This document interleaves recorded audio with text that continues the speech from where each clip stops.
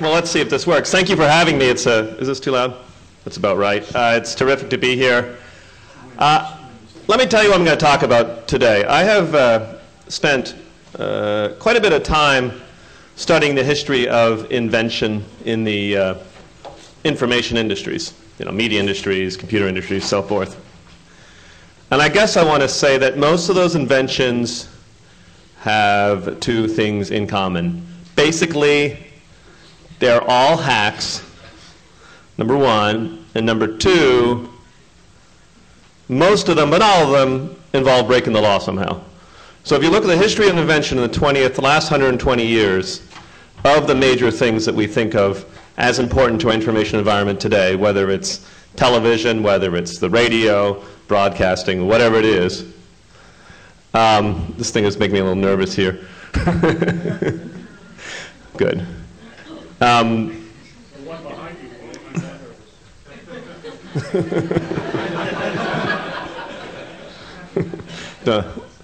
Fortunately, bigamy is permitted, not permitted in this country. But, anyways, most legal, most of the important inventions, information involve two things. I said it before. Number one, they're hacks.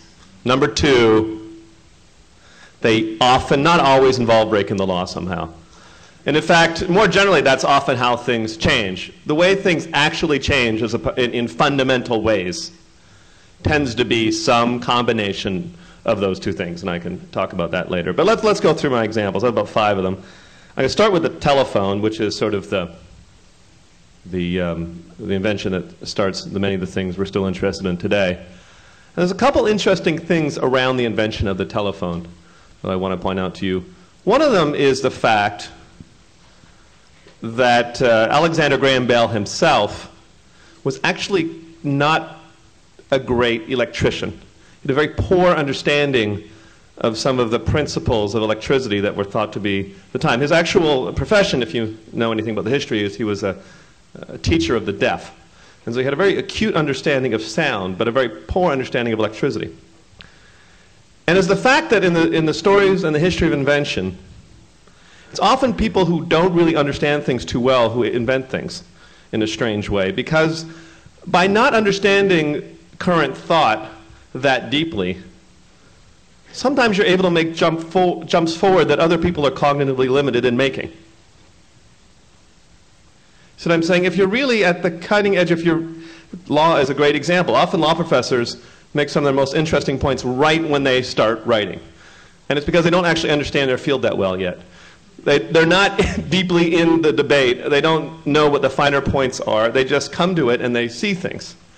That's often true with invention too. So Alexander Graham Bell, he didn't understand electricity all that well, so he didn't realize what everyone had agreed, which is that you couldn't put, you couldn't use electricity to carry sound. Everyone had agreed on that principle. It was, it was settled.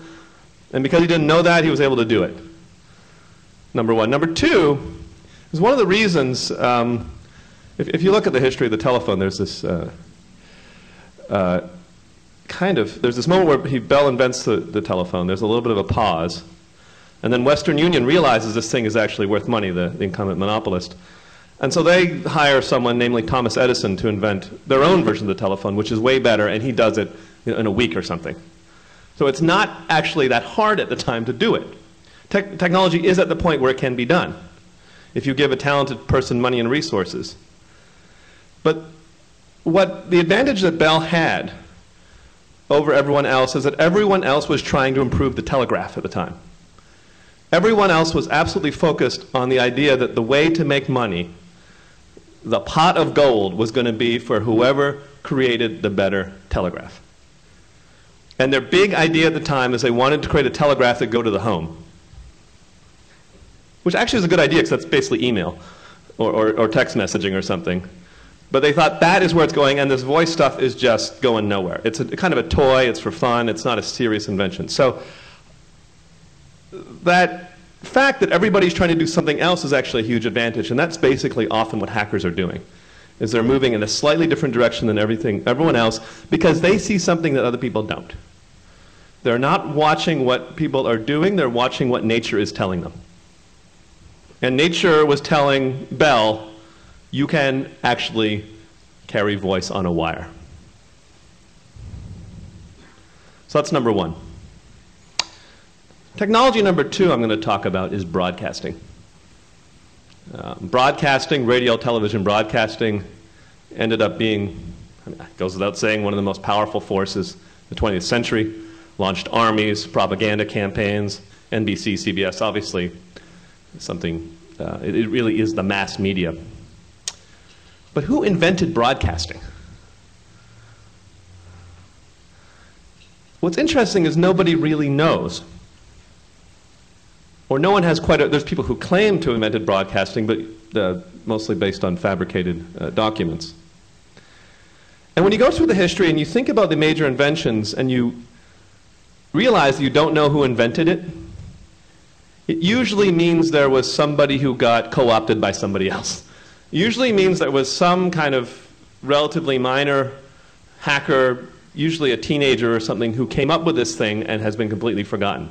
The only time you remember when someone invented something is when they then have a company that bears their name.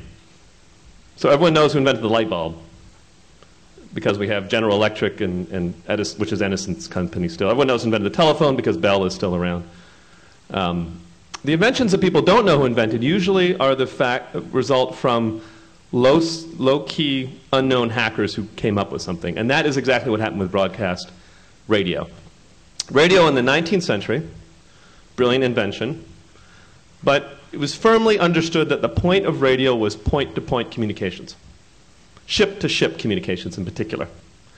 And for so that reason, terrestrial radio was severely limited based on the idea that it might interfere with ship-to-ship communications and create trouble. So there was very limited purpose you could put radio to. And it, so it took people who had no stake in the game, who were not really interested in things, to start using radio for a different purpose, which was namely for one pe person to reach many people. Broadcasting which if you look in a dictionary from the 19th century is still defined as a seeding technique. You throw seeds out as opposed to narrow casting where I guess you put them in little spots. I don't know. Um, and so it was people, and actually I don't think anyone has completely, conclusively figured out when the first radio broadcast was. It could have been as early as 1909. There was a radio station operating in New York in the 1910s which claimed as many as 1,000 listeners. But the fact is that there were things happening in this area at least 20 or 30 years before CBS and NBC became part of it, and before radio became a mass technology. Let me talk about another similar one. No, actually a different one, chronologically. The next is the history of film. First of all, I want to point out that like some of these others, very few people in this room probably know who invented the film projector and the movie camera. You know, important industry, huge industry, but who actually invented movies? Again, it's a story of basically someone getting shafted, which is a guy named Carl Jenkins. He, he, did okay. He invented some other stuff.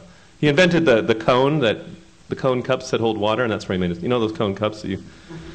that was his profitable invention. His uh, invention of the movie projector didn't go well, and in fact, I think he said once, I, I can't remember how he put it, he said, the inventor uh, knows to himself that he has the glory, but he sees none of it in his own life, or something like that. He has a very sad kind of thing. Um, anyway, this guy invented, uh, he and also French, there was also a, a simultaneous French invention of, of, of, the movie theater. But we'll skip ahead a little bit and talk about the 1910s. 1910s, um, about 1909 or so, film was dominated by a trust um, that had a collection of patents over most of the important film technologies, known as the Edison Trust, and it was headed by uh, the Thomas Edison's film company.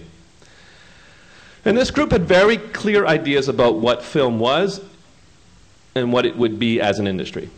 And their rules were like this. Basically, the ideal length for a film was 10 minutes long.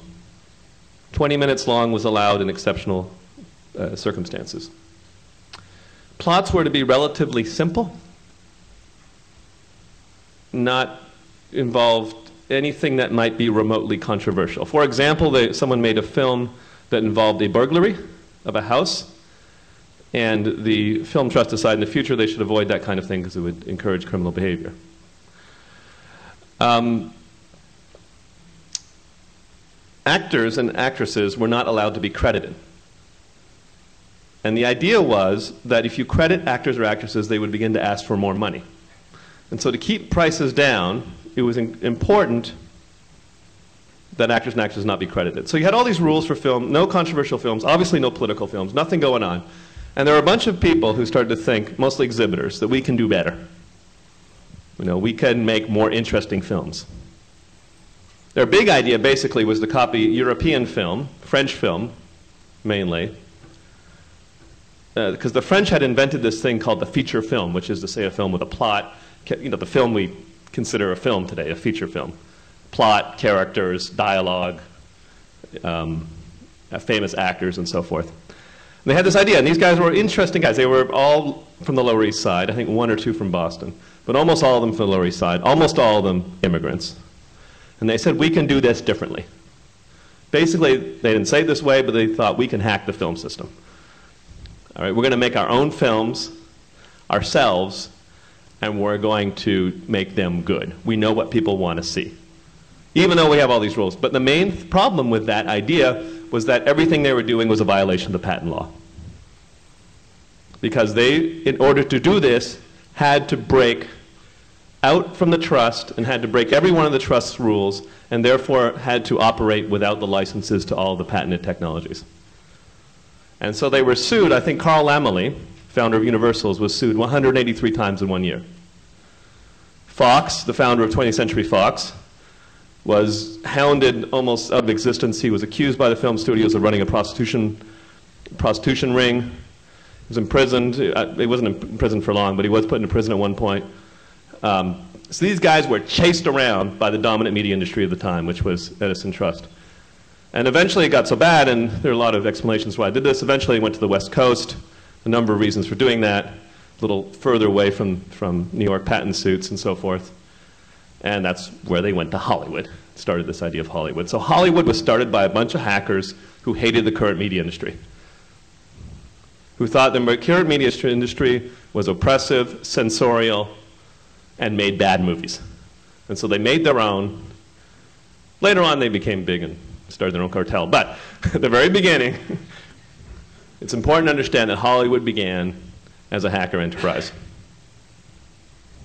Next story is cable television. Cable is another one of those technologies which probably many people in this room use, but have no idea who invented it, even though it has this. Maybe you think Ted Turner invented it or something. He did invent some important stuff. I'll give him some credit. Um, again, it was like a very small time operation. It was people who lived in the mountains or the hills of Pennsylvania who are unable to re receive signals. And so most of the stories you read are about people who own electronic stops, something like that. They put up tall towers, grab signals, and they're able to send it around.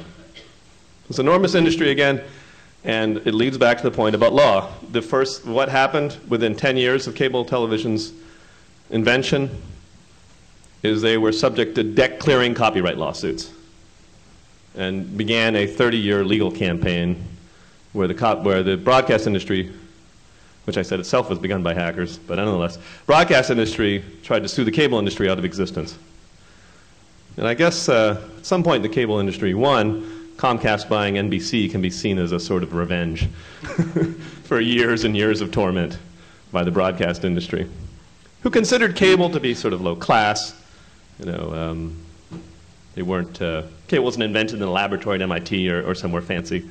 Uh, it was basically rural, they wouldn't call themselves hacker, like electron, electrician tinkerer types invented cable. And it goes on, and some of the more, uh, I'll now conclude with examples you're probably more familiar with, which are um, computer networking and computers. Um, I think by now everyone knows that Steve Wozniak, who was one of, was sort of the motive force between the original Apple computer. Um, that he and Steve Jobs had a project before the Apple I computer. Their original collaboration was a way of making phone calls for free on the AT&T network, uh, known as a blue box. This was their first invention, and it worked.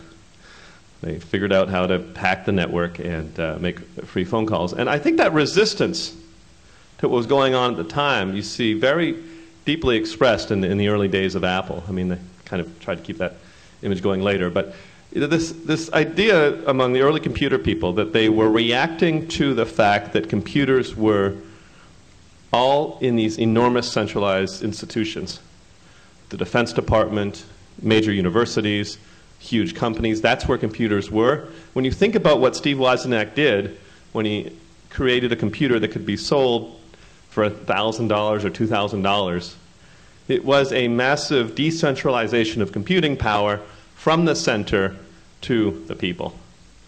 And so there's a very intense ideology in some ways, a very powerful set of ideas embodied in the invention of com personal computing.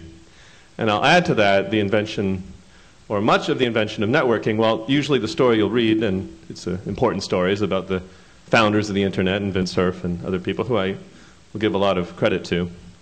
It is also a fact that I do not know if the internet would have reached anyone if you didn't have in the 18, 1980s and, and 1990s concurrent rise of basic computer networking, much of which was amateurs like myself as a teenager who were operating modems. And most this is another one of these histories that is very little attention, but the spread of widespread amateur computer networking through modems, BBSs, and all this kind of stuff. Usually with the purpose of trying to get software for free. Not always, sometimes to have discussions about issues of the day. So that's basically it. I, I, I think the, the case sort of speaks for itself. I don't want to say there hasn't been inventions that have happened in industrial laboratories or MIT and, and Stanford and places like that. There have been important things. Often they tend to be more of the nature of incremental, improving innovations. You know, they do something and it gets better. IBM invented the mainframe or and a lot of computing, and then they would improve it and improve it and improve it. And that's an important role of innovation. I don't want to deny it. But there's also a lot of stuff that started with very humble, out of the way, total outsiders, often who were forced to break the law. Now, we could say forced. They just kind of were oblivious to the law, usually. Sometimes they had to, like in the example of Hollywood. Now, why is it that we see so many of these important inventions come from these unlikely sources? Well, I think it's what I said earlier. It's very difficult to be aware or to think about what you're not thinking about. You know, you're, we're all of us in this room are highly limited in our cognitive horizons. You know, when you think of a good startup, you probably think, well, Facebook was good, so maybe I'll add a couple features. Maybe have some circles, put my friends in or something. You know, you do this little, little step. You're like, okay, that's going to be much better or something like that. And you know, sometimes these are important steps. But when you're kind of locked into trying to do what people are doing now, because you're so into it, you're so close to it, it's difficult to see the things will send things in a very different direction. It's also very frustrating to try and go in a different direction. That's why in what, back in the Bell days, the reason people were trying to invent the telegram as opposed to the telephone is there was a market for it. And very few things cloud the mind as much as the prospect of enormous bundles of cash. You know, if you think that this is where the money is, that is where people will direct their efforts. Of course, why would you do anything else? But the fact is that some of the most innovative stuff, some of the stuff that comes in a completely different direction, historically has come from a very kind of different motive. And I will close by talking about that. I know many people have read works talking about this, but most of the hackers I write about, and I think those of you who are interested in this know this already, the, the motivation, the most powerful motivation is one that doesn't demand any external reward. You know, in other words, it's called fun. That is the most powerful motivation because if you do something and you think it's fun, then in some ways nothing can stop you. Because people say, well, you're not getting paid for that. Well, but I'm having fun. Well, you're not going to become famous, but I'm having fun. Who cares about being famous or having money if you're actually having fun? You, you are at a higher space than any of the rest of it. Right? So that is sort of the ultimate defense. And if I think that is what is the most powerful form of motivation. Thank you very much.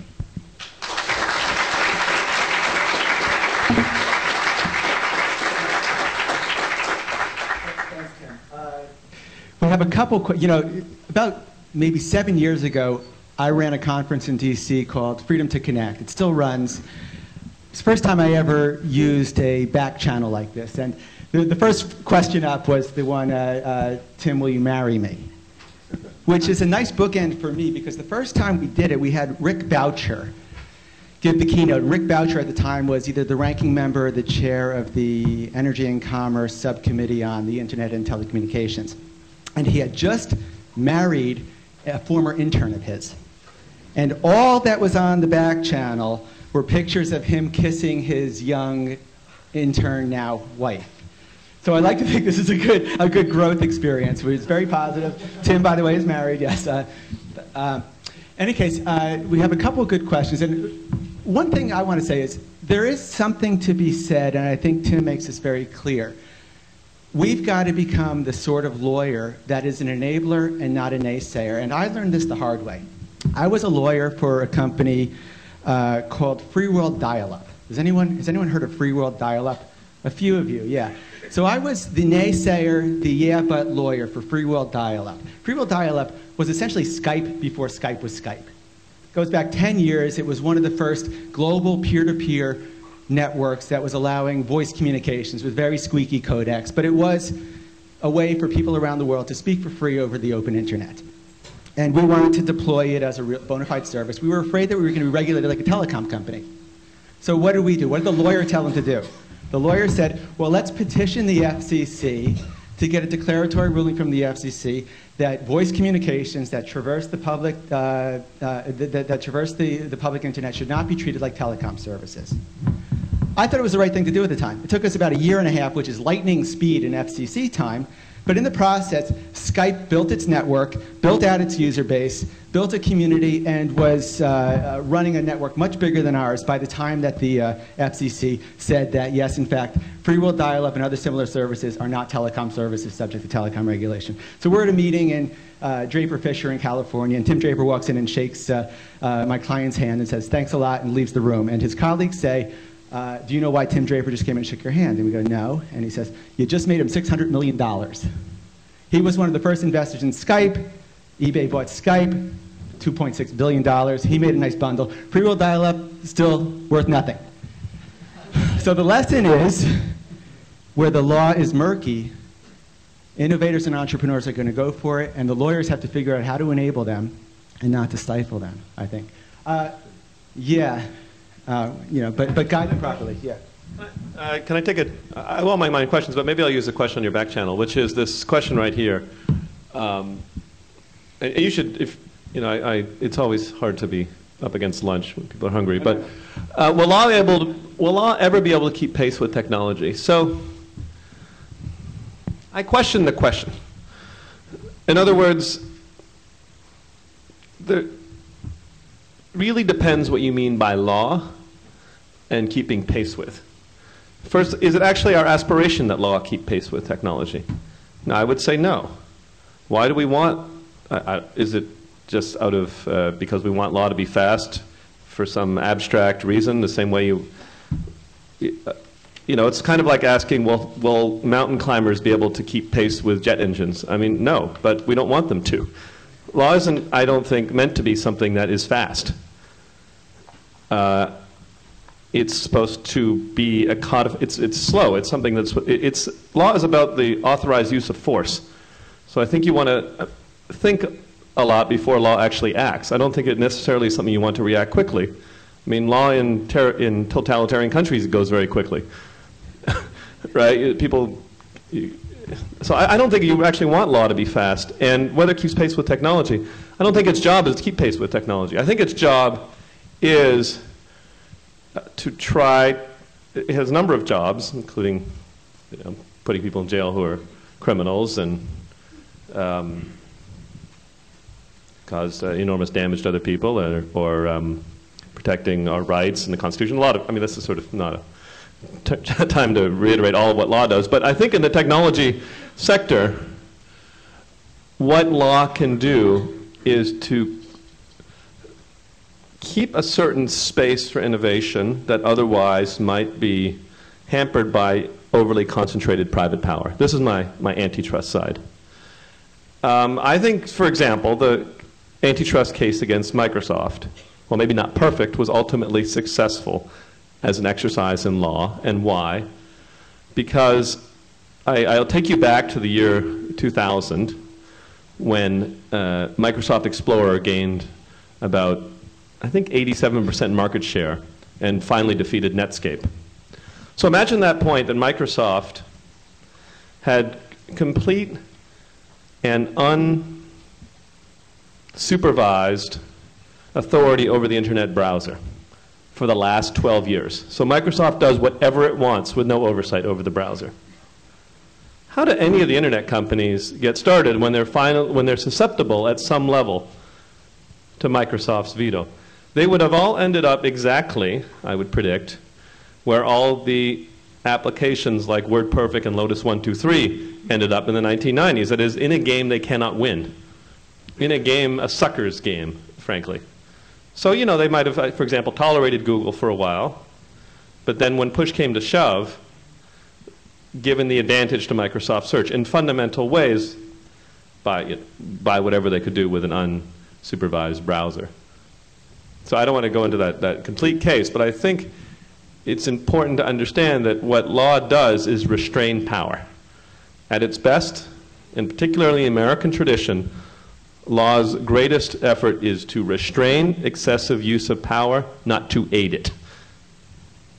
So uh, actually, I want to follow up on that, if I can, for a sec. So there's a dilemma, and I want to ask your advice on the potential for solution for a lot of the folks in this room.